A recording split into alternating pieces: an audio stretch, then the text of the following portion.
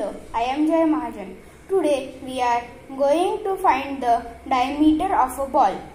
So I have kept the newspapers and kept the ball between them. So I will now count it.